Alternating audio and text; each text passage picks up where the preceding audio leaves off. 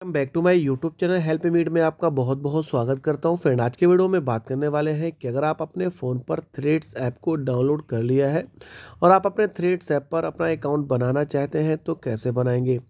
Threads app पर अपना account बनाना बहुत ही आसान होता है। आज की इस वीडियो में आपको यही बताने वाला हूँ। बस आपसे रिक्वेस्ट है, वीडियो को पूरा देखें, तभी आप सही तरीके से थ्रेड्स ऐप पर अकाउंट क्रिएट कर पाएँगे।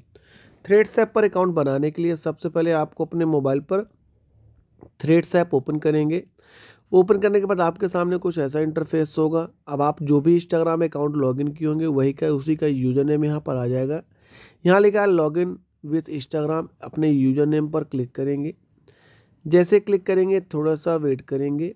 और यहाँ पर आपको परमिशन ऊपर से अलाउ करने हैं। परमिशन अलाउ करने के बाद थोड़ा सा वेट करेंगे और आपका अकाउंट सक्सेसफुली यहाँ पर क्रिएट हो जाएगा।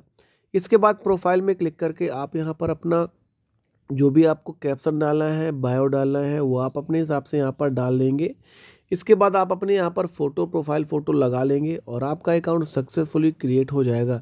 तो ऐसे ही आपको थ्रेड्स पर अपना अकाउंट बनाना है। वीडियो पसंद आया हो लाइक करें, दोस्तों के साथ शेयर करें और चैनल को सब्सक्राइब ज़रूर करें।